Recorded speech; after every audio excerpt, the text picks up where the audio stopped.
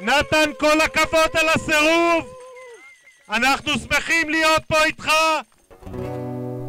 One day a friend took me aside, said I have to leave you. נתן, כל הכבוד על היכולת לסרב לקחת חלק בכיבוש, כל הכבוד על הנכונות לשלם מחיר של קרוב למאה ימי מאסר בגין ערכיך. גם ברגעים שהכל ממש אפורי, תזכור שבחוץ זה משפיע על אנשים אחרים.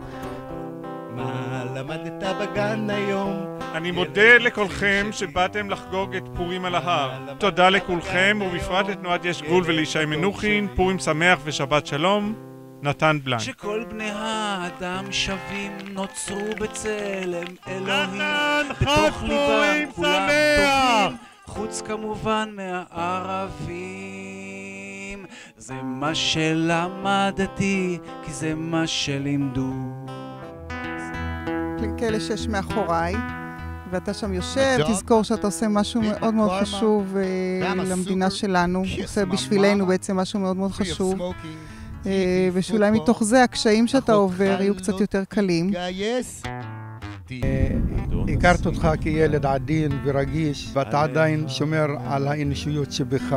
אני לא כאן בשביל לראות בבני אדם.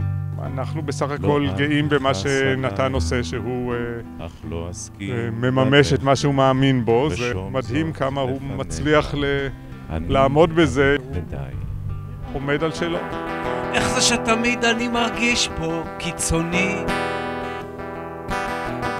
הלוואי שעוד אה, אלפי אלפי. אה, ילדים וילדות יעשו מה שאתה עושה.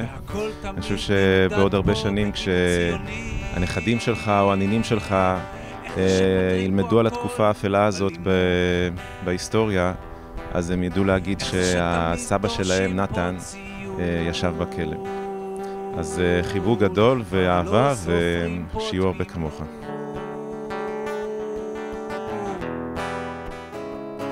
הבנתי כבר מזמן שאתם פשע מאורגן, אבל בבקשה עשו טובה.